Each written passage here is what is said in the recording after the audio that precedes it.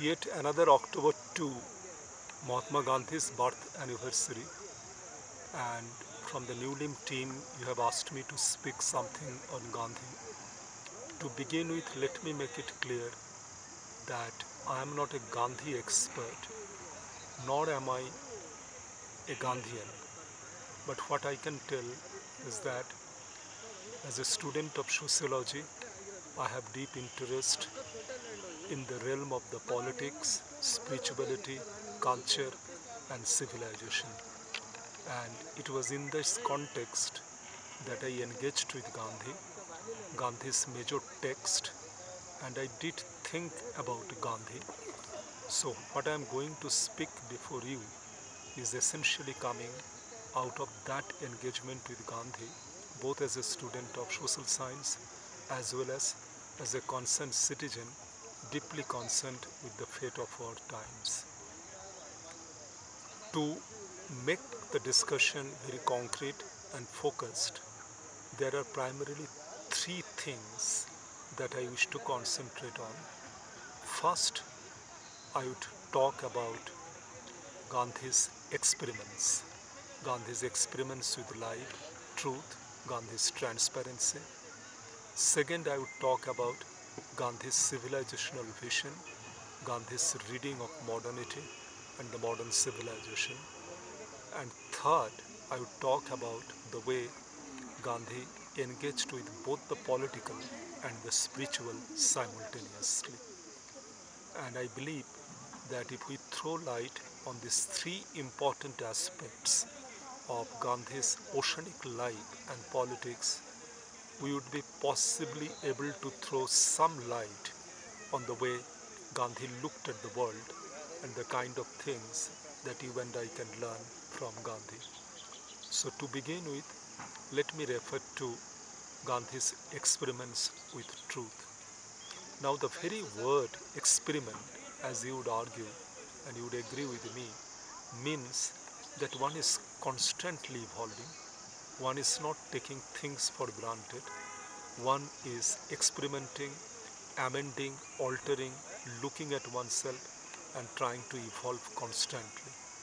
So it is an experiment with truth that means that Gandhi is not taking things for granted that what the scriptures have said.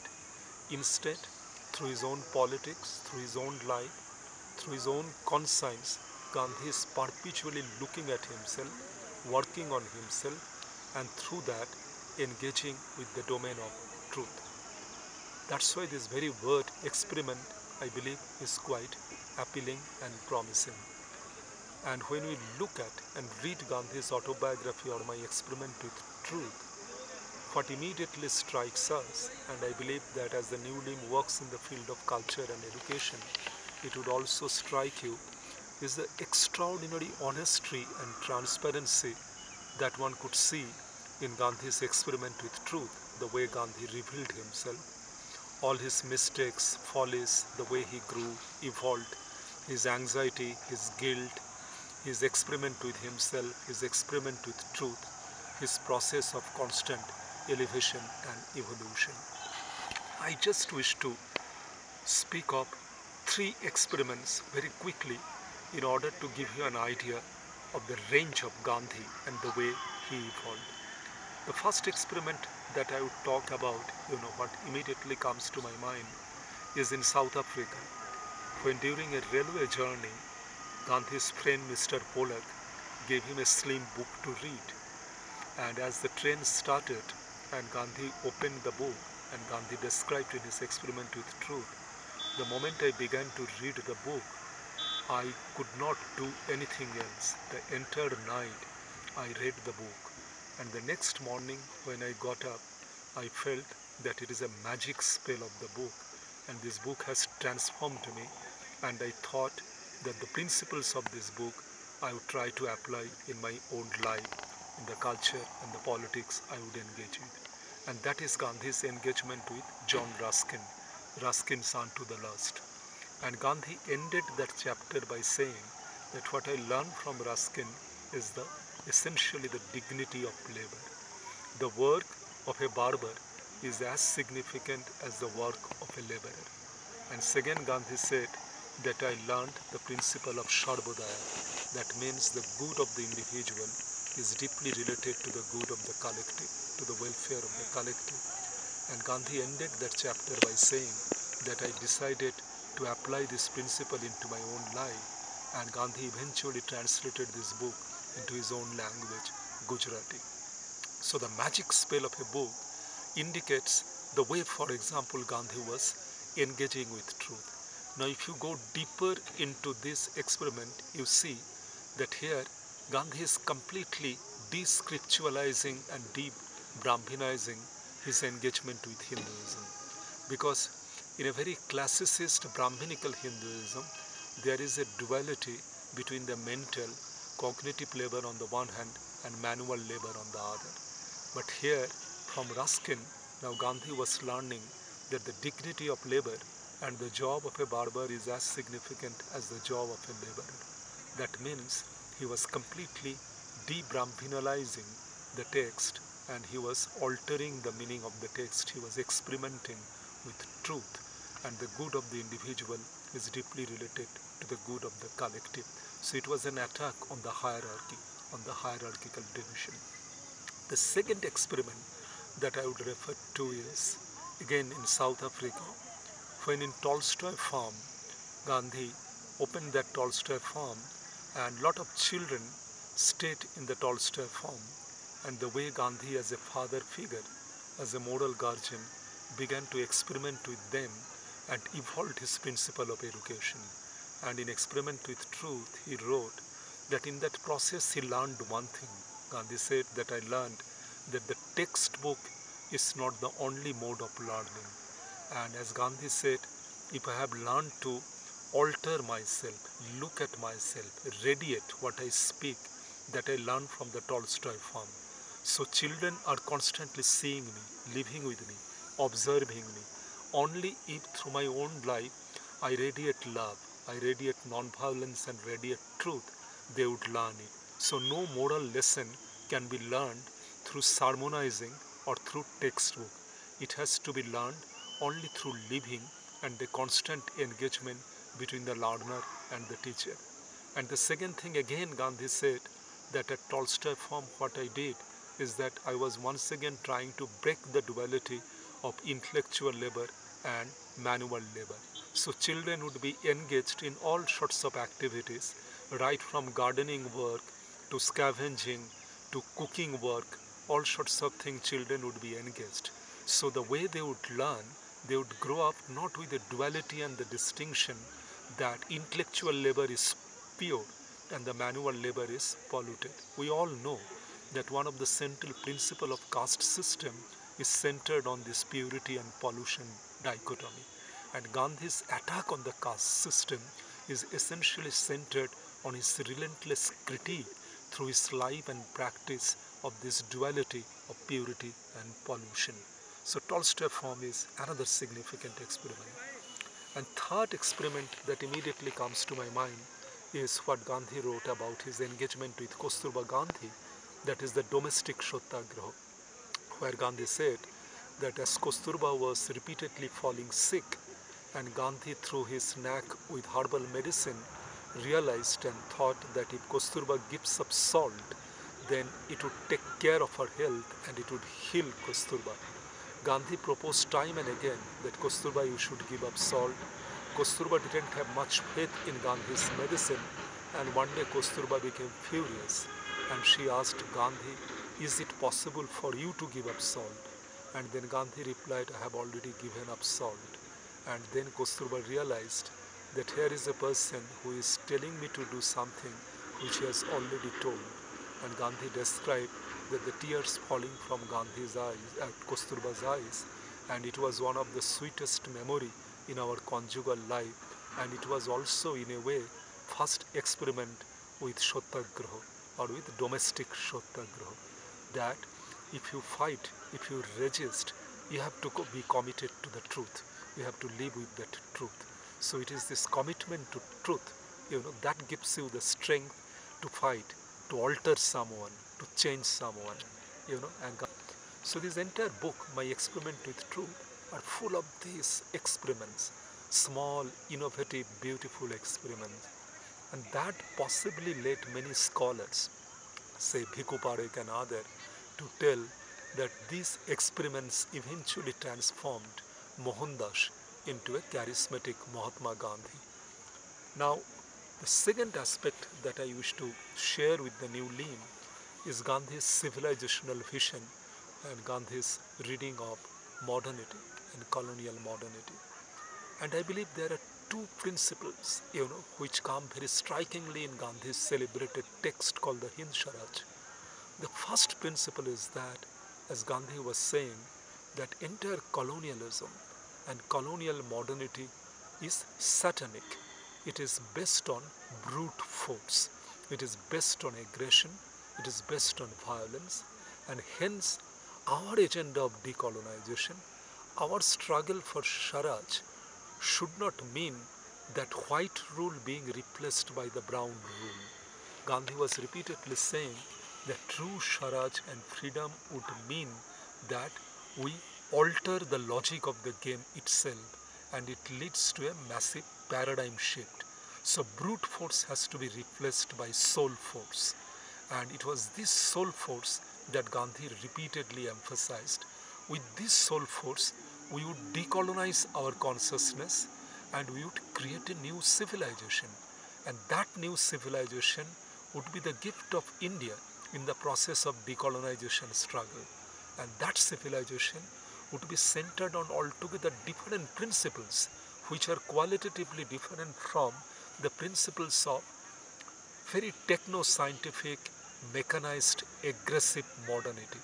Because Gandhi was repeatedly arguing that we want a civilization in the process of decolonization and fighting brute force through soul force, a civilization which is engaged in the principle of harmony, harmony between the human species and nature, harmony between human living and habitat and the ecosystem, and it also ought to be based on certain principles of austerity, certain principle of austerity.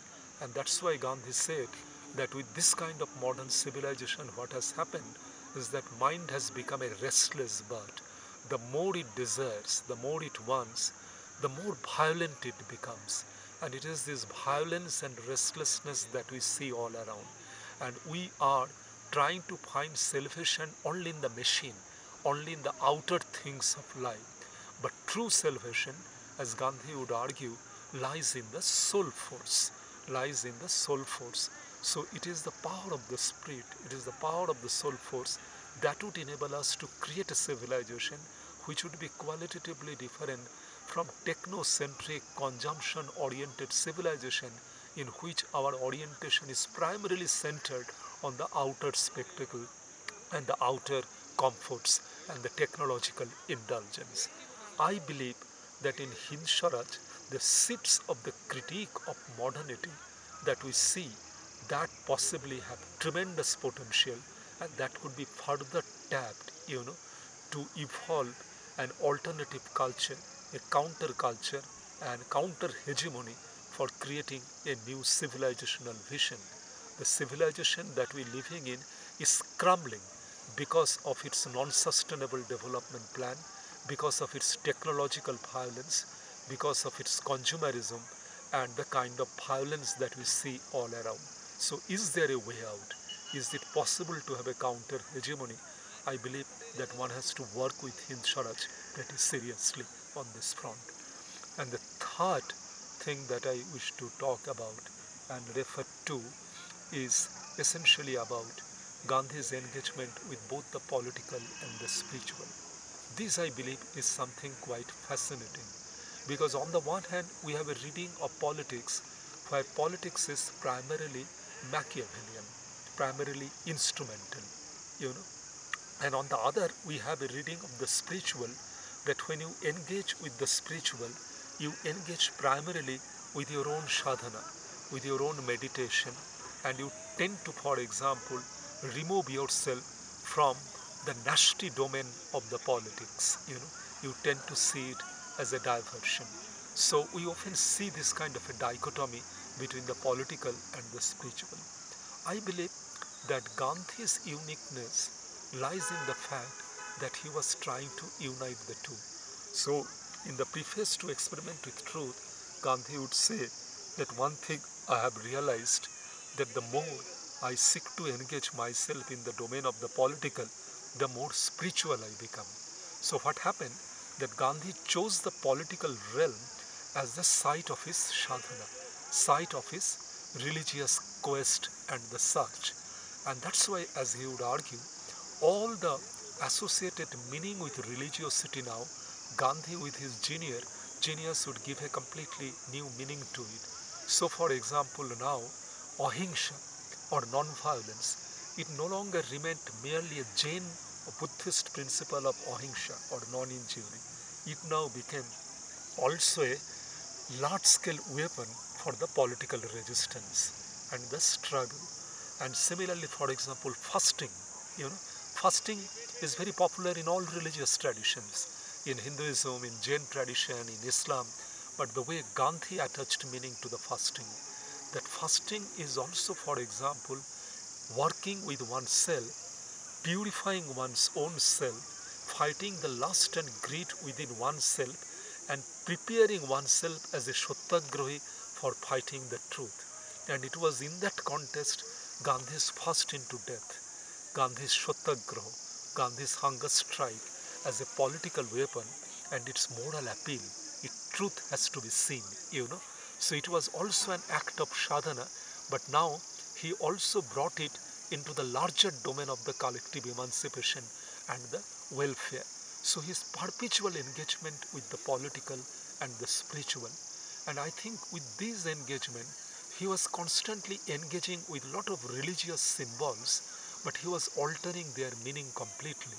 That's why Ram Rajya, in Gandhi's connotation, became a kind of utopia, a future non-violent socialist world filled with decentralization, oceanic circle, decentralization of power, and a harmonic man-nature relationship with austerity as a principle of living. You know, so it became more like a utopian vision for a future civilization and the future world. And it has got nothing to do with the language of religious fundamentalism. So this constant negotiation with the political and the religious, that I think many didn't understand. Many didn't understand Gandhi's symbolism and many also misunderstood Gandhi. Traditionally, I believe it became a problem for Indian leftists for quite some time, you know, to understand this Gandhi's subtle domain of engagement with the political and the spiritual.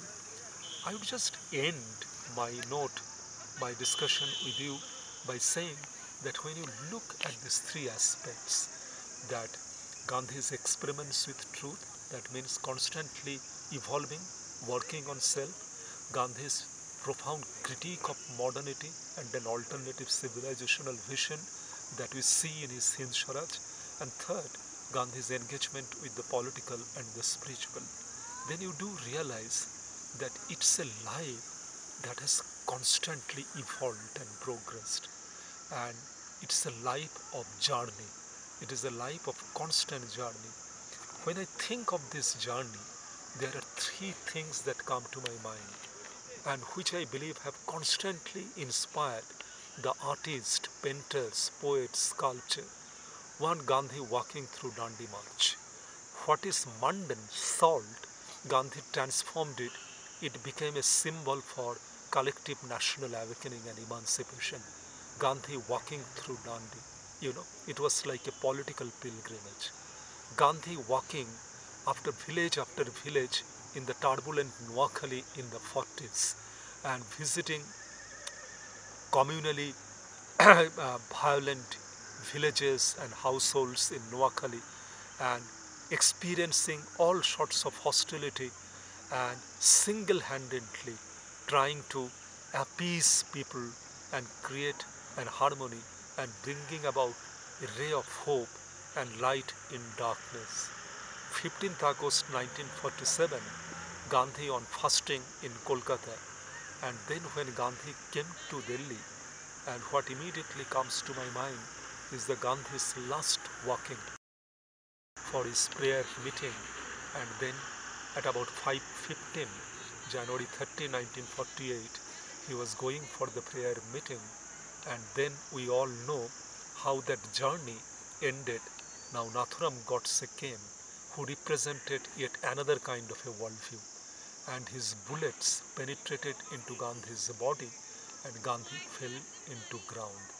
And that led us to that question, what is the meaning of that death? You know, is it only the death of the physical body and the temporal or whether through Godse's bullets, Gandhi's relevance became more alive, more relevant and throughout ages we need to reinvent Gandhi and rediscover Gandhi and would not allow Nathuram Godse to finish Gandhi. He finished merely the body and the spirit that Gandhi represented that transcends the body of Mohandas Karamchand Gandhi. That's a belief, that's a philosophy, that's an aspiration. So Gandhi has to be seen beyond the body of Gandhi. This is the way I just wish to end